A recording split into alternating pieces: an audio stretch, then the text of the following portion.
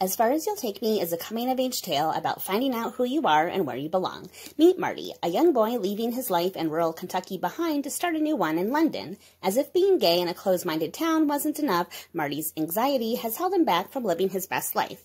When Marty arrives in London, he'll have a whole new set of problems lying about why he's really there, trying to make new friends who actually understand him, and the devilishly handsome Pierce, who may not be as charming as he seems. I absolutely loved Marty. I've never felt I had so much in common with the gay teenage boy.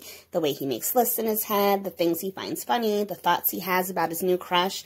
I really felt like I was on Marty's journey with him, and I felt my heart break for him. I cheered for him. I yelled at him when he made stupid decisions.